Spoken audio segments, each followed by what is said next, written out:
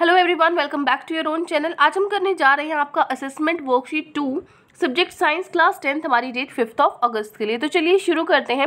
आज का जो असेसमेंट वर्कशीट है, कि ये आपका ट्वेंटी मार्क्स का होगा, जिसके अंदर दो सेक्शंस होंगे आपके। जो सेक्शन वन है, उसमें एमसीक्यूज होंगे मतलब ऑप्शंस होंगे चार, उसमें से एक आपको चूज़ करना है, जो एक एक मार्क का होगा हर क्वेश्चन और सेक्शन टू में आपके शॉर्ट टाइप क्वेश्चन होंगे, जो थ्री मार्क्स का हर एक क्वेश्चन होगा, ठीक है?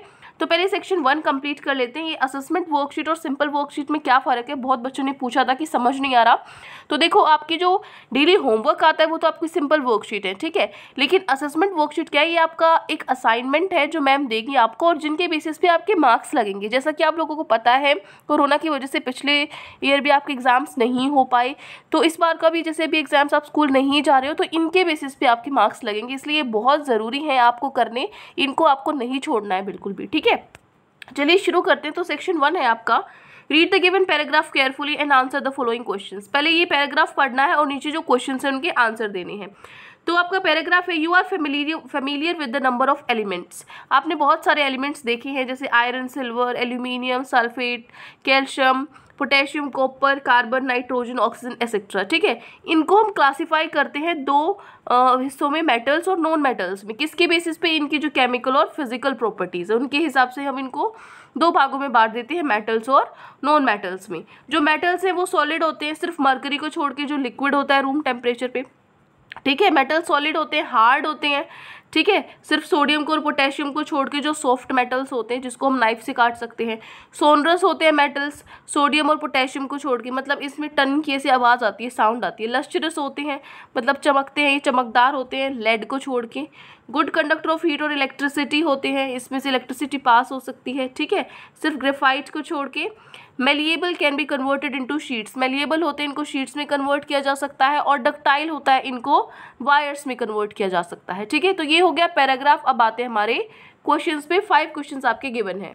तो फ़र्स्ट क्वेश्चन है mercury is a metal which is dash at room temperature mercury कैसा मेटल है जो रूम टेम्परेचर पे क्या होता है? सॉलिड लिक्विड गैस या फिर दोनों सॉलिड या लिक्विड अभी अभी हमने पढ़ा था जो मरकरी होता है वो क्या होता है? लिक्विड होता है रूम टेम्परेचर पर, ठीक है?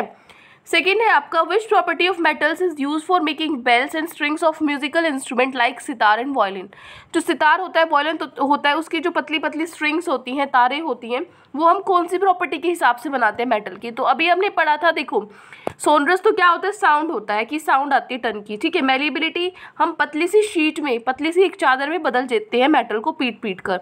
डक्टाइल उनको तारों में बदल देते हैं और कंडक्टिविटी उनके अंदर से बिजली इलेक्ट्रिसिटी पास हो सकती है।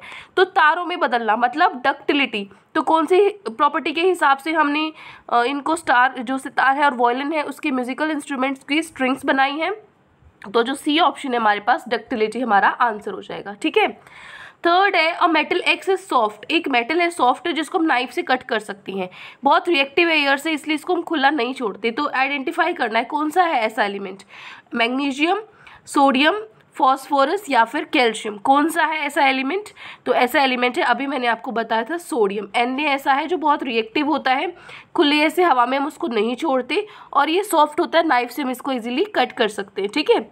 फोर्थ है aluminium is use for making cooking for making cooking utensils जो बर्तन होते हैं एल्यूमिनियम से बनाते हैं बर्तनों को तो कौन सी प्रॉपर्टी होती है एल्यूमिनियम की? जो इसके लिए रिस्पॉन्सिबल होती है। गुड कंडक्टर ऑफ़ हीट होते हैं एक तो सोनरस होते हैं डक्टाइल होते हैं, हार्ड होते हैं तो बताओ। देखो गुड कंडक्टर ऑफ़ हीट अगर हमें कुछ गर्म करना है बर्तनों में, है ना तो वो होना चाहिए, एक तो गुड कंडक्टर ऑफ़ हीट होनी चाहिए, एक तो ये प्रॉपर्टी होती है, ठीक है, और हार्ड होते हैं। अब ऐसा तो नहीं पिंगल के उस पर गिर जाएँगे गैस पे है ना? हार्ड होते हैं तो इन दो प्रॉपर्टी के हिसाब से हमने जो प्रॉपर्टीज़ यूज़ की हैं यूटेंसिल्स बनाने के लिए तो कौन सा ऑप्शन सही है? डी ऑप्शन सही है हमारा, ठीक है ना? फ़र्स्ट और फोर्थ प्रॉपर्टी मतलब good conductor of heat and hard property हमें चाहिए यूटेंसिल्स को बर्तन बनाने के लिए। Next is nitrogen is nitrogen क्या है? एक मेटल है नॉन मेटल है मेटलॉइड है, या फिर ना मेटल है, ना नॉन मेटल है। तो देखो नाइट्रोजन क्या है? गैस है, ये मोस्टली जो मेटल्स होते हैं, वो सॉलिड होते हैं। नाइट्रोजन गैस है, ये क्या है? एक नॉन मेटल है। तो जो बी ऑप्शन है, वो हमारा सही होगा, ठीक है? तो ये आपका जो सेक्शन वन है, वो कंप्लीट होता है। सेक्शन वन में ये फाइव एम आपको गिवन थे, जिसके आंसर्स हम कर चुके हैं, ठीक है? अब नेक्स्ट पार्ट पे चलते हैं हमारे सेक्शन नंबर टू पे।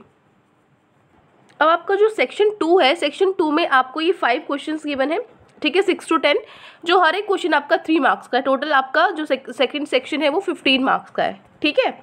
तो इनके सॉल्यूशंस करते हैं, चलिए। सिक्स क्वेश्चन है आपका। It is observe that a pencil sharpener gets attracted by both the poles of a magnet while its body is not attracted by the magnet. आपने देखा होगा कि जो आपका शार्पनर होता है ना, उसमें से जो एक हिस्सा होता है उसका, जो बीच वाला जिससे मतलब शार्प होता है ना, ठीक है? वो हिस्सा तो चिपकता है मैग्नेट के दोनों पोल से, ठीक है? लेकिन जो उसकी बॉडी होती है ना, वो नहीं चिपकती मैग्नेट से। क्यों? आपको वो मटेरियल का नाम बताना है जो यूज़ हुआ है उसके पार्ट्स बनाने में। तो देखो, जो पार्ट ऑफ़ पेंसिल शार्पनर जो अट्रैक्ट होता है ठीक है, जो मैग्नेट से चिपक जाता है, वो तो बना होता है लोहे का, जो हमारा, जिसको आप बोलते हैं, जैसे, जो तेज़ तरार आपका वो होता है ना, जो छिलता है पेंसिल को, वो तो आयरन का बना होता है। और जबकि जो उसकी बॉडी है, जो अट्रैक्ट नहीं होता मैग्नेट से, वो किसका बना होता है? प्लास्टिक का बना होता है। तो यही बताना था, उसके जो पार्ट्स हैं, वो किस मटेरियल से बने हुए हैं? तो हमने बता दिया आयरन से बने हुए हैं और प्लास्टिक से बने हुए हैं, ठीक है? This is your question number six now next question number seven a magnet has two poles ठीक है, दो पोल्स होते हैं north pole and south pole state whether it is it will be an attraction और repulsion तो आपको नीचे ये देखकर बताना है कि इन दोनों पोल्स में अट्रैक्शन होगी या रिपल्शन होगी। मतलब आपस में चिपकेंगे या दूर भागेंगे। अगर नॉर्थ को नॉर्थ से हम आपस में पास में लेकर आएँगे तो रिपल्शन होगा कि अट्रैक्शन होगा? रिपल्शन होगा, क्योंकि जो सेम होते हैं सेम पोल्स क्या करते हैं? रिपल्स करते हैं और जो अपोजिट पोल्स होते हैं, वो अट्रैक्ट करते हैं। Next is south south south south भी तो सेम पोल्स हैं। तो सेम पोल्स क्या होगा? रिपल्शन होगा। सी है नॉर्थ और साउथ जो अपोजिट आपके पोल्स होते हैं, वो क्या होते हैं? अट्रैक्ट करते हैं। तो यहाँ पे क्या होगा? अट्रैक्शन ठीक है? तो ये हो गया आपका question number seven clear now moving to our next question question number eight what are electromagnets how its strength can be change electromagnets क्या होते हैं और इनकी स्ट्रेंथ को कैसे चेंज कर सकते हैं? तो देखो, ये टेम्परेरी मैग्नेट होती है जो हम इलेक्ट्रिसिटी से बनाते हैं। इनको हम क्या बोलते हैं? Electromagnet the temporary magnet produced by electricity is called electromagnet इसकी स्ट्रेंथ को कैसे चेंज कर सकते हैं? The strength of the electromagnet can be changed by हम इसकी स्ट्रेंथ को चेंज कर सकते हैं बाय इंक्रीजिंग और डिक्रीजिंग क्या चीज़ बढ़ा के या घटा के, जो करंट है कोयल के अंदर, उसको बढ़ा के या घटा के, या फिर जो टोटल नंबर ऑफ़ कोयल्स है, ठीक है, कितनी बार इसको फोल्ड किया हुआ है, उसके हिसाब से हम उसको चेंज कर सकते हैं उसकी स्ट्रेंथ को, ठीक है? उतनी ही ज़्यादा स्ट्रॉन्ग होगी आपकी इलेक्ट्रोमैग्नेट जितना ज़्यादा करंट होगा, जितने ज़्यादा नंबर ऑफ़ कोयल्स होंगे, ठीक है? जितने कम होंगे, उतनी वीक इलेक्ट्रोमैग्नेट आपकी बनेगी क्लियर तो ये हो गया question number eight now moving to our question number nine ninth question is bar magnet has no markings to indicate its pole जो बार मैग्नेट है, उस पर ना ये नहीं लिखा होता कि ये नॉर्थ पोल है या साउथ पोल है, ठीक है? तो how would you find out near which end are its north and south poles located तो आपको कैसा पता लगेगा कि कौन सा नॉर्थ पोल है और कौन सा साउथ पोल है? तो देखो, एक जो फ्रीली सस्पेंडेड बार मैग्नेट होती है, वो हमेशा नॉर्थ साउथ डायरेक्शन में पॉइंट करती है। आप इसको बीच में छोड़ दो, वो अपने आप घूम घूम के नॉर्थ और साउथ डायरेक्शन में अपनी जगह बना लेगी, ठीक है? तो जो एंड पॉइंट्स नॉर्थ डायरेक्शन की तरफ़ फेस कर रहे हैं, वो नॉर्थ पोल होगा मैग्नेट का और जो एंड पॉइंट साउथ की तरफ़ फेस कर रहे हैं, वो साउथ पोल होगा मैग्नेट का, ठीक है? तो इस तरीके से जो फ्रीली सस्पेंडेड बार मैग्नेट है, उससे हम दोनों जो हमारे नॉर्थ और साउथ पोल है, वो हम पता कर सकते हैं क्लियर तो ये हो गया आपका question number nine now last question of our worksheet question number ten है if a magnet is broken into two pieces अगर एक मैग्नेट को मैं दो हिस्सों में तोड़ दूँ तो न्यू मैग्नेट बन जाएगी, है ना? उसके भी दो पोल्स बनेंगे। जस्टिफाई करो स्टेटमेंट्स को। तो देखो, अगर हम ब्रेक करते हैं एक मैग्नेट को दो पीसेज में, हर एक पीस एक इंडिविजुअल मैग्नेट की तरह बिहेव करेगा। एंड ये एक साथ है, बेटा, इसको ठीक कर ठीक है? तो if you break a magnet into two pieces दो हिस्सों में तोड़ेंगे तो हर एक पीस एक इंडिविजुअल एक अलग मैग्नेट की तरह बिहेव करेगा।